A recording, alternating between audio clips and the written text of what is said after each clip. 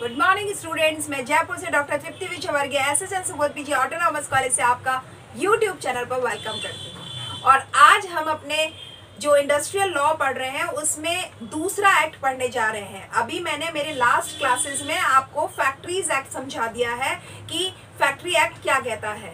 अब हम बात कर रहे हैं कि जो मिनिमम वेजेस है, वो वेजेस एक्ट क्या कहता है? ठीक है तो पेमेंट ऑफ़ वेजेस एक्ट 1936 के क्या प्रोविजंस हैं? लेबर लेजिस्लेशन में राइट तो आपको मैं बता दूँ, जैसे कि फैक्ट्री एक्ट भी बहुत इंपॉर्टेंट है, बिल्कुल ऐसे ही जो wages payment of wages act है, वो भी अपनी जगह बहुत इंपॉर्टेंट है। ये चीज़ें आपको लेबर लॉ में बहुत सपोर्ट करेंगी कि अगर आपका इनको अंडरस्टैंडिंग प्रॉपर हो जाए तो। शुरू करते हैं अपन ये एक्ट देखो, ये एक सेंट्रल लेजिस्लेशन एक्ट है, जिसको सेंट्रल गवर्नमेंट फ्रेम करती है, और ये सेल्फ कंटेंट एक्ट है। यानी इसमें जुडिशरी भी ये खुद ही किए जाते हैं राइट अब इसमें बात करेंगे, ये एक्ट कब लागू हुआ? ये 23 अप्रैल 1936 को ये एनफोर्स किया गया था। कब? ट्वेंटी थर्ड ऑफ़ अप्रैल 1936 को ये एनफोर्स किया गया था, और इसको रेगुलेट करने के लिए जो लोग फैक्ट इंडस्ट्री में या फैक्ट्री में जहाँ भी एम्प्लॉयड थे उनके वेजेस को इंश्योर uh, करने के लिए कि उनको अपने काम की मजदूरी प्रॉपर मिल जाए इसलिए इस एक्ट की ज़रूरत महसूस हुई थी। ठीक है? ताकि जो लोग काम कर रहे हैं उन्हें उनके काम का तुरंत उन्हें वेजेस uh, मिलना बहुत इंपॉर्टेंट है।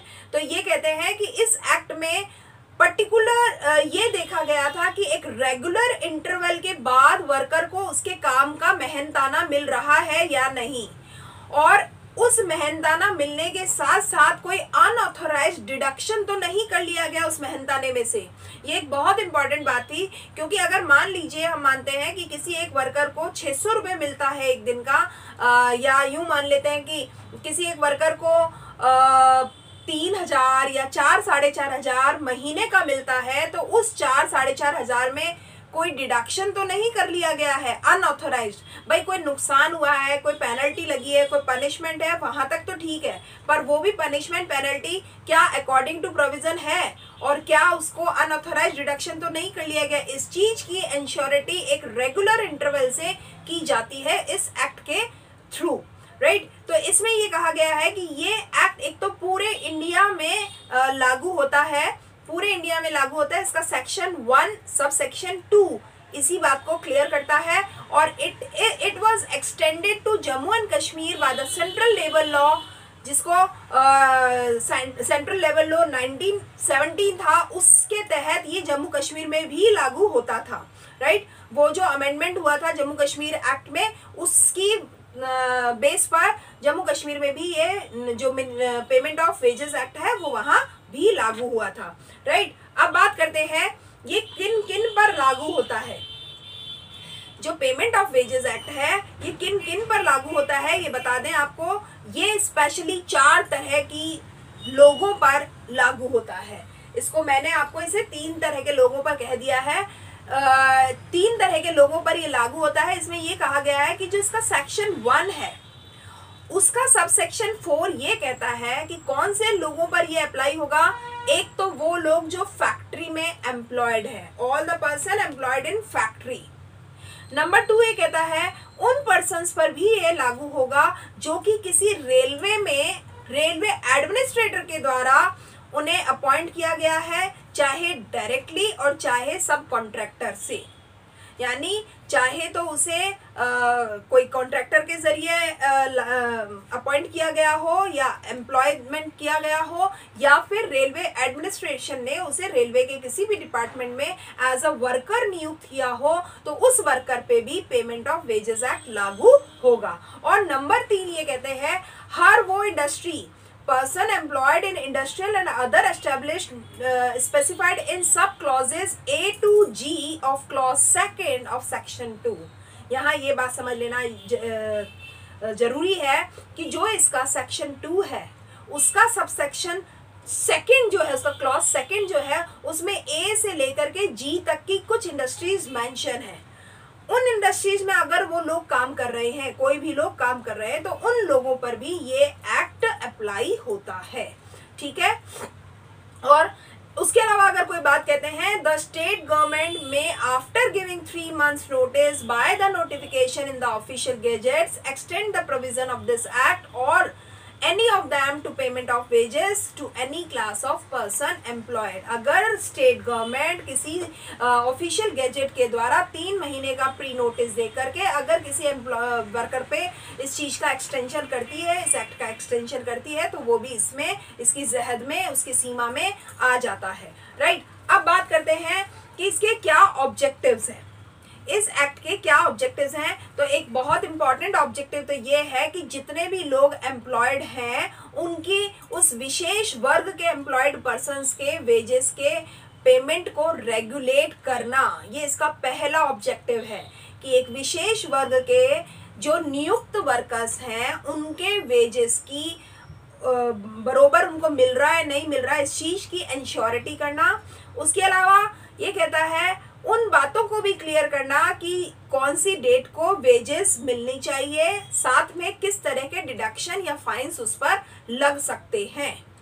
अगर ऑथोराइज डिडक्शन या फाइन लगे हैं, तब तक तो ठीक है। अगर अनऑथोराइज फाइन या डिडक्शन किए जाते हैं तो एक्ट ये कहता है, ये इलीगल है।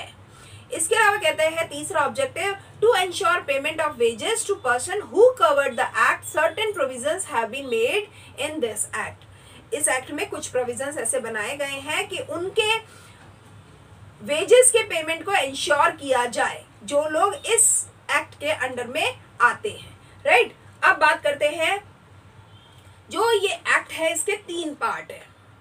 जो पेमेंट ऑफ़ वेजेस एक्ट है, इसके तीन पार्ट है। नंबर वन पार्ट जो है, वो ये देखता है कि इसका regulation of payment of wages proper होता रहे। यानी जो मजदूरी दी जा रही है, उसका पेमेंट होना, उसका उसका फ्रेमिंग होना, वो सब प्रॉपर हो। पार्ट नंबर सेकंड ये कहता है, वो हेड्स के बारे में कहता है, यानी उन शीर्षकों के बारे में कहता है under with direction are to be made of wages कि जो मजदूरी है, उसके लिए किन किन तरह की कटौतियाँ कौन कौन से शीर्षकों के तहत की गई है। और जो पार्ट थर्ड है, जो पार्ट थर्ड है, वो ये कहता है, उस मैकेनिज्म या उस मशीनरी की बात करता है फॉर एनफोर्सिंग स्पेसिफिक क्लेम्स जो कि विशेष दावों को एनफोर्स कराने का काम करती है। Right right? तो अब तो ये तो हो गई इसके सारी ओवरव्यू वाली बातें। अब जरा बात करते हैं इसकी डेफिनेशन की। ये इसकी डेफिनेशन जो है सेक्शन टू में कवर की गई है। ठीक है? अब सेक्शन टू में क्या कहा गया है? सबसे पहली डेफिनेशन दी गई है सेक्शन टू के वन जो सब क्लॉज वन है, उसमें दी गई है फैक्ट्री कि फैक्ट्री क्या होती है?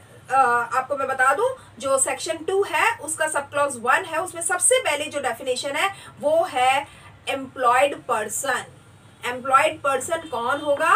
जिसको काम दिया गया है। तो employed person includes the legal representative of deceased employed person अगर कोई भी व्यक्ति जो काम कर रहा था, वो उसकी डेथ हो जाती है। उसके डेथ होने पर उसका जो लीगल रिप्रेजेंटेटिव होगा, यानी वैधानिक प्रतिनिधि जो होगा, उसको भी एम्प्लॉयड पर्सन की तरह से ही माना जाएगा।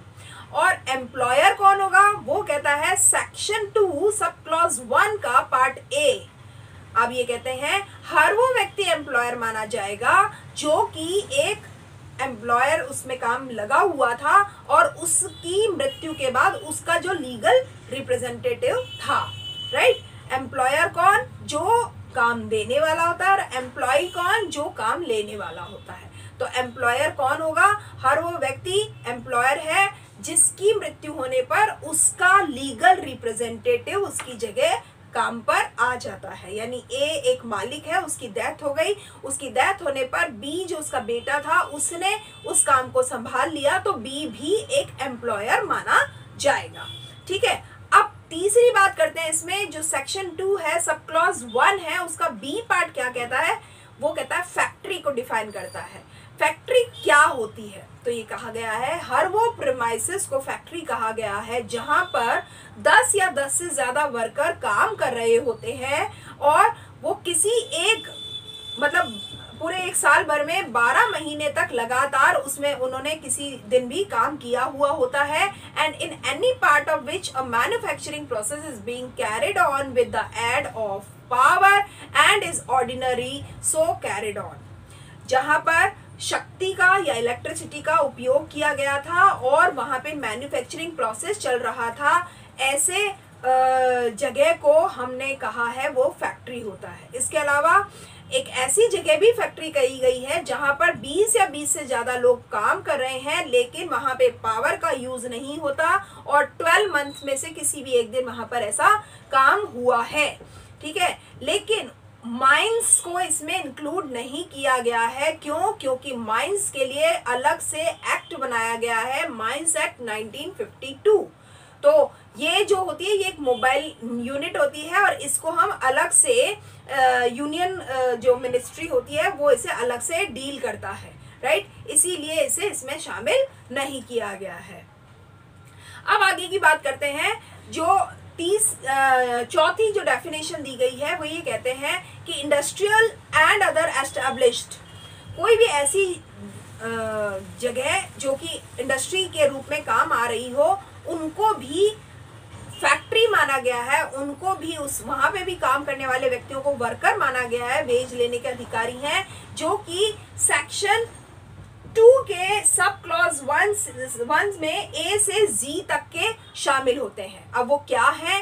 ए में ये कहता है ट्रामवे सर्विसेज़ या मोटर ट्रांसपोर्ट सर्विसेज़ जिस, जितनी है, उसमें अगर कोई व्यक्ति एंगेज है एज अ काम कर रहा है तो उसको वेज मिलने का वो अधिकारी है वेज पाने का। इसके अलावा कहता है अगर कोई एयर ट्रांसपोर्ट में है तो वो भी मतलब ट्रांसपोर्टेशन में जो है, उसको भी हमने कहा है, वो मजदूरी अधिनियम के अंतर्गत वो मजदूर माना गया है। बी में कहते हैं डॉक या जेटी ये जो ये जो नौ, नौका, नाव वगैरह होती हैं, वहाँ पे जो लोग बंदरगाहों पर जो लोग काम करते हैं, वो लोग भी वर्कर वेजेस मान, लेने के अधिकारी हैं। इसके अलावा सी कहता है, जो भी इनलैंड वेजल मैकेनिकली प्रोपेल्ड होता है, यानी जो ट्रॉली वगैरह को चलाने वाले होते हैं, उनको भी वर्कर माना गया है। डी में कहा गया माइन क्वेरी और ऑयल फ़ील्ड जो तेल से संबंधित जगहों पर काम करने वाले लोग हैं माइंस पे काम करने वाले लोग हैं, उनके लिए भी कहा गया है। और ई e के लिए कहते हैं प्लांटेशन जो लोग फॉरेस्ट्री डिपार्टमेंट में है, उनको भी मजदूर कहा गया है। एफ़ में कहते हैं उन वर्कशॉप्स में काम करने वाले लोग, जहाँ पर की मैन्युफैक्चरिंग या एडेप्टेशन होता है और ट्रांसपोर्टेशन और सेलिंग का काम होता है। जी कहता है हर वो वर्कर जो कि कंस्ट्रक्शन डेवलपमेंट से है और बिल्डिंग का या रोड का मेंटेनेंस वगैरह देखता है, या नहरें बनाने वगैरह का, सिंचाई वगैरह का जो काम करता है, उन सबको भी हमने वर्कर कहा है। तो यहाँ पे ये सारी चीज़ें जो है, इसमें जो अपॉइंटेड लोग हैं एंगेज लोग हैं, उनको वर्कर कहा है और ये सब वर्कर वेज पाने के अधिकारी हैं, इसीलिए पेमेंट ऑफ़ वेजेस एक्ट इनके ऊपर लागू होता है। इस तरीके से तो ये तो हो गई बात कि कौन कौन से इसमें वर्कर शामिल हो गए। अब बात करते हैं जो सेक्शन टू है, इसका सब क्लॉस फोर है, वो कहता है वेजेस क्या होगा? किसको मजदूरी कहोगे? तो कहते हैं हर वो रेमुनरेशन यानी जो आपको मेहनताना मिलता है, वो जो कि सैलरी अलाउंसेस और इसके अलावा उसमें जो भी चीज़ें हैं शामिल होती हैं और वो मनी के रूप में या फिर काइंड्स के रूप में किसी भी तरीके से दिया जा सकता है। ये कहते हैं, जिस भी तरीके से दिया जाएगा, उस पर दोनों ही पार्टी सहमत होनी चाहिए। और जो काम किया गया है, उसके एवज में दिया जाना ज़रूरी होता है। और ये कहता है, कोई भी ऐसा remuneration payable under any reward और सेटलमेंट बिटवीन द पार्टीज़ और ऑर्डर ऑफ़ द कोर्ट ये कहता है कि इसमें ये सब चीज़ें भी शामिल हैं कि जो उसे कोई इनाम के तौर पर कोई चीज़ें दी गई हो या रेमरेशन मॉनिटरी टर्म्स में दिया गया हो। इसके अलावा ये कहते हैं जो भी ओवर टाइम करने के या हॉलीडे या लीव पीरियड पे काम करने के जो उसके एवज में जो भी उसे चीज़ दी जाएगी वो भी वेजेस में ही काउंट होगी और कोई एडिशनल रेमरेशन जो कि उसने अगर आ, कोई बोनस के रूप में या कोई आ, दूसरे नाम के उसमें कोई काम किया है तो वो भी वेजेस में ही काउंट होगा। इसके अलावा कहते हैं, हर वो चीज़, हर वो अमाउंट जिसको उसका टर्मिनेशन एम्प्लॉयड का टर्मिनेशन का जो उसका कारण बन सकता है, उसके एवज में जो भी चीज़ दी जाती है, वो भी सब इसमें वेजेस काउंट के के रूप में काउंट होगा। और वो हर वो चीज़ जो कि किसी भी स्कीम के तहत उसको टाइम यूज़ करने के एवज में, काम करने की एवज में उसे दी जाती है, वो सब भी इसी में यू काउंट होगा, जो कि वेजेस कहलाएगा। ठीक है? तो ये इस तरीके से बहुत सारी चीज़ें हैं जो वेजेस के बारे में क्लियर करती हैं। आज मैंने आपको सेक्शन वन और सेक्शन टू क्लियर किया है। आगे की क्लास में मैं आपको इसके नेक्स्ट सेक्शन समझाऊँगी। उम्मीद करती हूँ कि आपको ये क्लास समझ में आई होगी, पसंद आई होगी। Thank you for keep watching my videos regularly